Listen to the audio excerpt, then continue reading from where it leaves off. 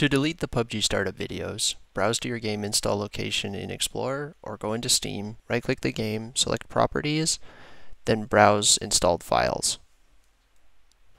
Search for asterisk.mp4, select all, and then delete. You should also search for asterisk.webp, as on some patches PUBG has stored their video files as WebP files. This also deletes the tutorial videos that play during the tutorial mission you play when you first download the game, and the Taego crashing airplane animation that plays at the start of a match with the crashing airplane. This frees up space. After major PUBG updates, you'll probably need to re-delete all of these files, as the loading screen is usually changed each season and they re-upload it. Thanks for watching, hope this helps.